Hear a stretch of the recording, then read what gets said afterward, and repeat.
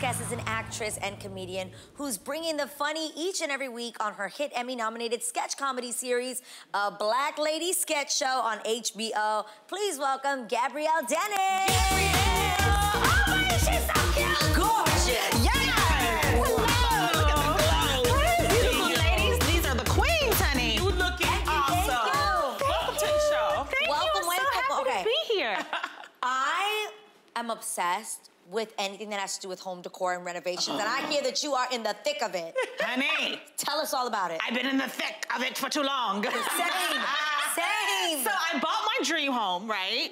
But the process of remodeling has been a nightmare, a living Oh. nightmare. There needs to be some laws rewritten about these contractors and what they get away with, Can okay? you say that again? I mean, uh, for all of the cameras, all of the cameras. Okay. You contractors out there, do better. Y'all wrong. better. You know you wrong.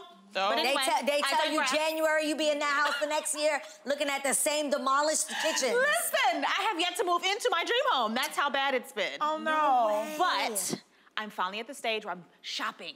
Shopping for like decor and like getting down to the nits and grits of that. Yeah. So that part is fun. Like I've gotten past like picking out hardware and tile and Yeah. co- paint colors and stuff like that. So now the decor, so you know, like this place gives me gives me vibes, gives me like great wood like paneling. Yes, Inspiration. yes, Yeah. inspiration for well, sure. good luck with that. You Thank know, you. one of the interesting things that we found out about you is that you used to be a ballerina. That's why you have the baby. That's I why you, could see you have the body, you have the, the position. You know. What inspired you from that to acting? You know, I went to a performing arts high school, so we had to practice a lot of dis- disciplines, right? So you audition and they make you do everything from creative writing to drawing, and I. I, my stick figures didn't cut it. I didn't get into the art department, um, but I got into dance. I got into theater, music theater. Yeah. Um, but my first love was definitely ballet and dance. I wanted to be the first Misty Copeland before we knew who Misty Copeland was. Okay. Right? So dope. So I planned to go to New York and do all of the things, but that did not happen. Um, I started getting acting jobs and stuff like that. My very first job was with Ray, a, a movie called Rage in Harlem with the late great Gregory Hines. I was in the Oh, scene with yes. him. That's incredible. I know they cut my lines, but that was my first taste of Hollywood. They were like, and scene. Um, but it was amazing. And then um, I just kind of went on and pursued life and thought I would go do regular things. And I, Yeah. I was, you know, working regular jobs and the bug just wouldn't go away. So I fell back into it and uh, here we are. Glad. Let me tell you, I am so happy that acting worked out for you. Yes. Because you are here with us now. And I actually love the fact that you recently co-starred in Tyler Perry's A Madea Homecoming. Yes. What was it like working with Tyler? Okay, first of all, I would like to say that I finally arrived, honey, because in certain Yes. circles, you have not arrived until you've worked with Mr. Tyler Perry. That's right. Because as a black actress, when you move to Hollywood, all your aunties, your grandmama, your mama, it's like, well, I don't understand. Why don't you just work with Tyler Perry? Man, because I don't have Tyler Perry's number in my phone. About that? So I finally, I finally worked with Tyler Perry. Check that off my bucket list. Also, he's so great to me. He's so inspirational. Yeah. I went to college for TV production, so my initial goal at that time when I was trying to not pursue acting was to have my own production company, my own Yeah. production studio.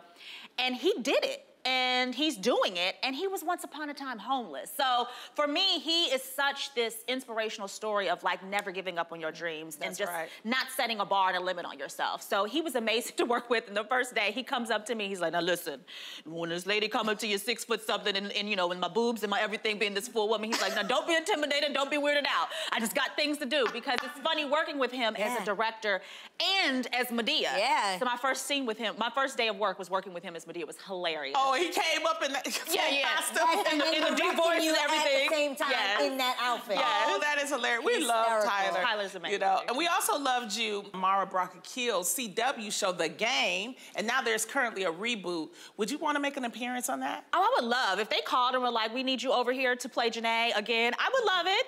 Um, I mean, I'm playing a new baby mama on the Upshaws now, but Janae, like, people still are very, very much so invested Yeah. and interested in that storyline, and they want to know, like, well, what happened to Janae after she got engaged and moved to New York, and where's the baby, and this and the third. And I'm so proud of Mara Brock Akil and the show, and seeing Wendy Raquel Robinson and the whole gang Yeah. over there doing their thing, holding it down. And I would love to go back. I mean, it's such a special place in my heart that that's really how I was introduced to the masses Yeah. was on that show. Yeah. Yeah, I remember, oh, such a good show. Loved her. And from that to now, the hilariously funny A Black Lady Sketch Show. Black Lady You're doing it all. I love it, which we absolutely love. And it's in its third season. How creatively involved are you and hands-on are, are you with the show? Oh, we get to be very, very involved. So because it's sketch and we're creating these these characters from scratch, basically, the writers, we get to meet with them at the beginning of the season. They talk to us about the things that we like to do and what we're into and da da da Yeah. da da. And then we see a script and it might have a little blurb of something like a description. And then from that, we get to build. We get to meet with the hair department, the makeup department, the wardrobe. Like I play this one teacher that Miss Mrs. Miller, she be going through it, and uh, just everything from the burn on her forehead to the, how her hair is Yeah. messed up to like a missing button, like not, you know, just all the little minor details that help us, in, you know, enhance the character, Yeah, enhance develop writing. who this character Yeah. is. You- I love I mean, that. what I love about this show is that they're pulling out black women like me. they pull me up this, you know, so I can revisit my sketch comedy chops. How important, Gabrielle, is this type of show to show that black women are funny, black women can do sketches? Man, it's it's so important because when I look at a lot of my comedic uh, inspirations, they're all male mostly. Yeah. You know, when you look at the sketch comedy space and a lot of the stand-up comedy space, Yeah. it's mostly men. Yeah. Um, I thought I was Martin Lawrence growing up. I could I could recite every character that he did on the Martin Show. Yes. Um, you know, and then when you look at uh, shows like In Living Color, we had Kim Wayans, but it was mostly male dominated. Yep. Yeah. So now here we are in a show that has made history, and I feel like this show is not talked about enough for this It's reason. not, and Yeah. it's Emmy we made history, all female black cast, writers, producers, directors. Boom. I'm like, we should be talking and celebrating this more. Yes, Exactly. But. I think because it's such this, um, it's it's this this thing that's just growing. Like Yeah. felt like season three, people more people are knowing about it and are talking about it and appreciating it more. Yeah. That I can't wait that five, ten years from now, there's a group of girls or women that have been watching our show Yeah. And are being instilled with that bug and that inspiration. Somewhere down the road, they're gonna be like, oh, I remember Black Lady Sketch Show. That was my. I mean, we'll feel old by then, but you know, for sure. for sure, it'll just be great to know that we out tell. Robin Thede Robin to Thede, Issa absolutely. Rae for, you know, Absolutely, Issa. developing this. This is just great. And for you're proud of Showtime, this. get, I mean, for HBO giving us that platform. Yeah. You know? That's mm-hmm. major. Major, major So major. Speaking of it, you guys, we actually have a clip from a Black Lady sketch show. Let's check it out. I am on my way to a today was a good day party, and my friends are going to roast me if my feet are ashy. Do you have any lotion or maybe some fruit snacks? I'm also very hungry. Oh, yeah. Oh, your feet are really, really ashy. you know you can't wear those feet after Labor Day.